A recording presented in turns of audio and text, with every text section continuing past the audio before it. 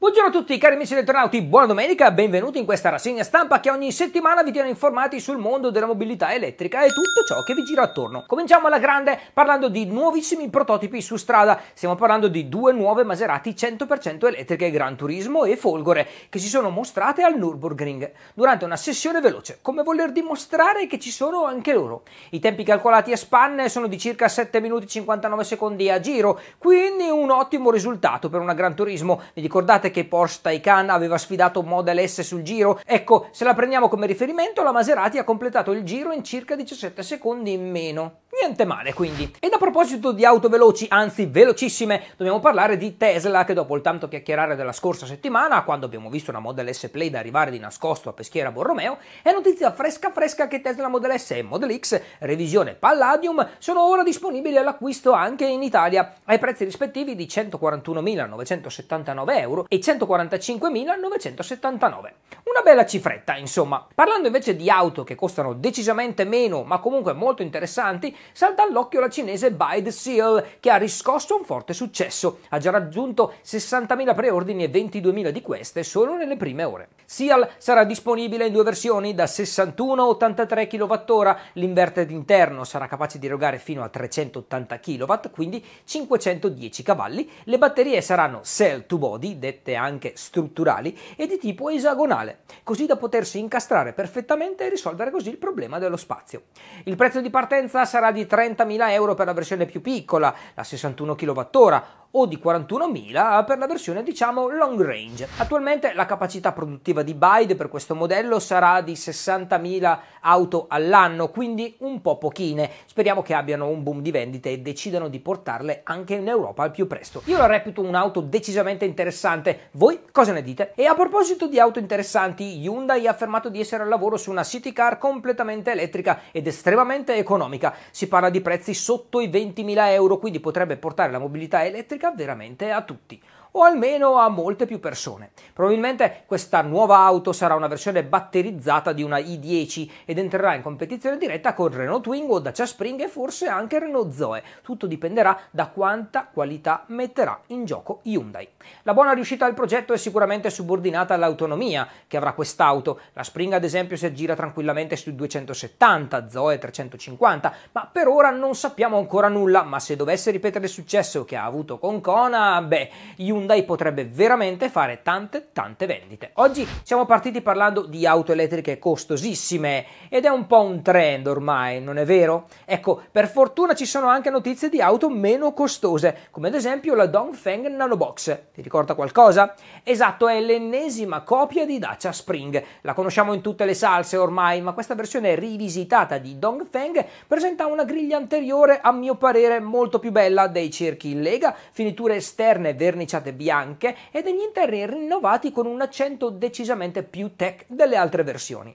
Infatti la Nanobox presenta due nuovi schermi, uno centrale da 10 pollici per la gestione del sistema di infotainment e uno da 7 pollici per il quadro strumenti, ma la grande novità ragazzi sta nel prezzo perché in Cina attualmente è di soli 9.500 euro. I dati tecnici sono sempre gli stessi di Dacia Spring, convincenti sicuramente, tanto che ne hanno vendute veramente tantissime. Io l'ho provata tempo fa e sono riuscito appunto, come dicevo prima, a farci 270 km senza alcun problema. Se non avete visto il video andate a cercarvelo nel mio canale. E continuando sempre a parlare di auto cinesi, questa volta in Olanda però è stata avvistata una nuova Xpeng, ma nuova solamente per l'Europa. Infatti il SUV Xpeng G9 esiste già da un po', è lungo 4,80 m, un prezzo di listino a partire da meno di 70.000 euro e sarà disponibile disponibile in due versioni, long range con motore singolo posteriore da 313 cavalli, pacco batteria da 96 kWh e 702 km di autonomia totale e la versione veloce, la Performance, con due motori in grado di erogare ben 551 cavalli, stesso pacco batteria, ma autonomia inferiore, circa 650 km. Ovviamente, ragazzi, ciclo NEDC. Ma è sempre, sapete, decisamente ottimistico l'NEDC, ancora più ottimistico del VLTP.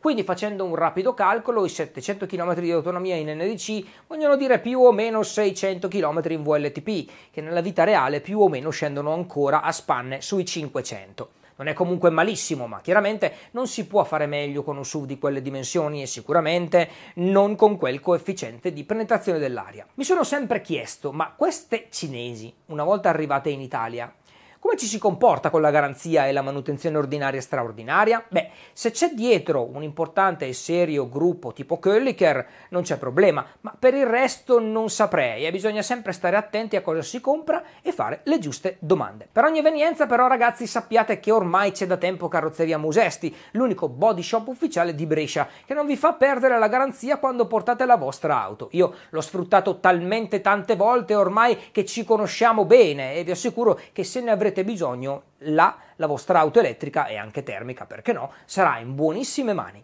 Oltretutto hanno convenzioni con le assicurazioni, così da abbassare o anche annullare la franchigia e vi forniranno un'auto sostitutiva. E altra cosa che mi piace tantissimo, a parte il fatto che sono veramente professionali ed economici, è che sono ad impatto praticamente zero. Tutta l'attrezzatura, i forni, i computer, eccetera, sono alimentati dai pannelli solari sul tetto e dalle batterie di accumulo pronte ad entrare in azione in caso di sovraccarico. Quindi se vi deciderete di fargli visita, mi raccomando, dite che vi manda Matteo Valenza. Ma prima di ricominciare a parlare di nuove auto elettriche, vorrei parlarvi di NIO, perché sembra essere pronto a mettere sul mercato delle nuove batterie molto innovative e probabilmente rimarranno sulla cresta dell'onda per almeno qualche anno. E dopo essere stata rifiutata da Catl, alla quale NIO ha chiesto udienza per acquistare le sue batterie, NIO ha deciso di rivolgersi alla startup Lion, con sede a Pechino, che ha sviluppato una batteria con elettrolita allo stato solido, con un adono composito al silicio e catodo ad alto tenore di nickel, da cui deriva la lunga autonomia con una carica. È quindi nata una batteria ibrida solido-liquido con una densità energetica di 360 Wh al chilogrammo, la più alta in assoluto mai registrata fino ad oggi. Neanche le famosissime batterie di Tesla riusciranno nell'intento di contrastarle. Ah, e cosa fondamentale, non arriveranno nel 2000 mai entreranno in produzione di massa nel quarto trimestre di quest'anno. Fonti vicine al produttore hanno rivelato che la produzione della batteria allo stato semisolido è stata solo leggermente più costosa rispetto alle batterie liquide prodotte finora, il che fa ben sperare per la fase di produzione di massa.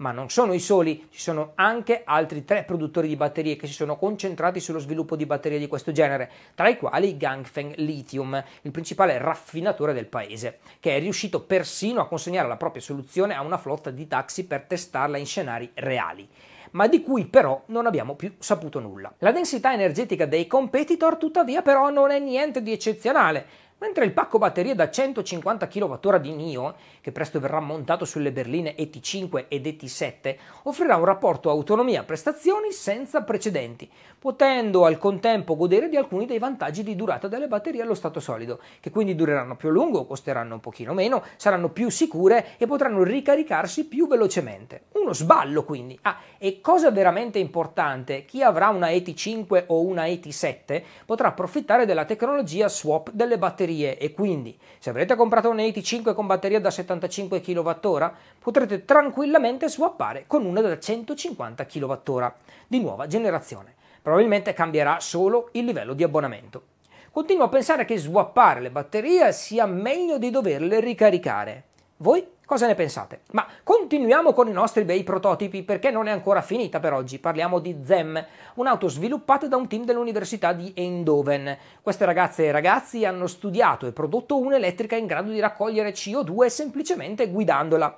Funziona grazie a dei filtri particolari montati in dei condotti dell'aria sull'anteriore. Può non sembrare molto, ma ZEM è in grado di raccogliere circa 2 kg di CO2 ogni 20.000 km percorsi questo dato è stato ricavato ad una velocità di circa 60 km h per emulare un circuito urbano. Diciamo che non è molto, ok, ci vorrebbero milioni di auto circolanti per ridurre sensibilmente la CO2, è vero, ma se per sbaglio questa tecnologia fosse adottata largamente da tutti i produttori, forse il pianeta potrebbe avere una possibilità di sopravvivenza, o no? E a proposito di auto che possano cambiare il mondo, ecco che Sono ha ufficializzato l'ennesima versione di Sion, l'auto alimentata con pannelli solari. Ed anche questa volta i cambiamenti sono pochi, design dai fari leggermente diverso, retrocamera, interni migliorati e qualche pannello su qualche superficie in più. In questa versione Sion sarà in grado di ricaricare una media di 112 km a settimana in Europa, oppure 250 km in condizioni perfette, tutto grazie ai pannelli montati sull'auto. I dati tecnici sono gli stessi di una volta, quindi pacco batteria da 54 kWh, che ora è LFP, ed è in grado di essere ricaricato fino a 75 kW in DC oppure 11 in AC. Il motore eroga 160 cavalli ed ha una velocità massima di 140 km/h. Tutto dovrebbe aggirarsi attorno ai 31.000 euro e non sarebbe male, quindi speriamo che effettivamente arrivi. E a proposito di novità, vi ricordate le voci che giravano mesi fa su due nuovi colori per Tesla Model Y prodotti direttamente da Berlino? Beh, qualche giorno fa, fuori dalla Giga Berlin, è stata avvistata in un parcheggio pieno di Model Y un modello con un colore particolarmente diverso da tutti gli altri.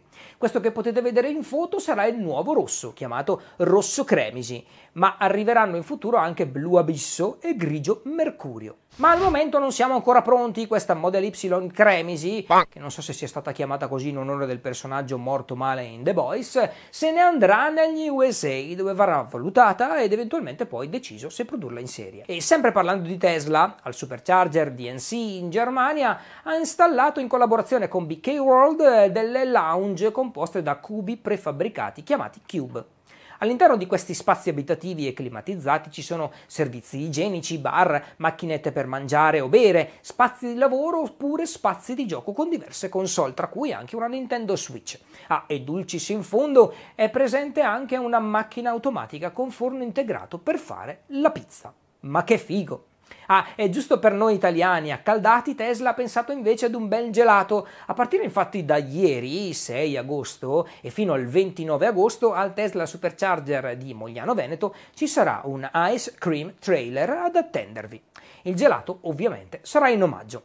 Il team di Tesla che sta dietro i supercharger si sta impegnando veramente molto. E devo dire che forse è la divisione più interessante dell'azienda che lavora dietro le quinte e ha permesso a Tesla Motors di diventare l'automaker leader della mobilità elettrica perché senza colonnine non si va da nessuna parte neanche in ferie. E anche io non vado in ferie quest'estate, ma sto lavorando ad un progetto super potente e super interessante che vi renderà molto fieri di me. Ve ne parlerò i primi di settembre. Segnatevi questa data. Giovedì 1 settembre 2022, ore 21, vi svelerò il mio grande progetto. E a causa di questo impegno, che mi sta tenendo sveglio la notte fino anche alle 4 a volte, non, uscirò, non credo riuscirò a portarvi sempre tre video a settimana, quindi portate pazienza, le news rimarranno sempre fedeli domenica alle 10, ma gli altri due video, beh, forse sì, forse no, si prenderanno una pausa ma solo durante il mese di agosto ovviamente, così facciamo finta anche che sono andato in ferie, eh? potete dire ma Denza è in ferie, certo.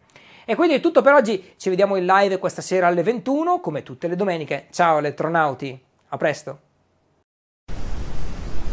Notizia fresca fresca che Tesla Model S e Model X revisione Palladium sono ora disponibili all'acquisto anche in Italia ai prezzi rispettivi di 141.979 euro e 141... Eh, amo, cacchio non mi viene 145 oggi, vabbè, rifaccio.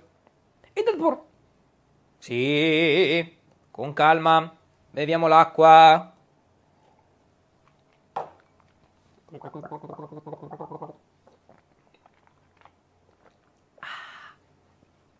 Io la reputo un'auto decisamente interessante. Voi? No. Io la reputo... Aolè, la repito? Decisamente interessanti, certo. La densità energetica dei competitor, dei competitor, sì, Matador, in Matador, vabbè,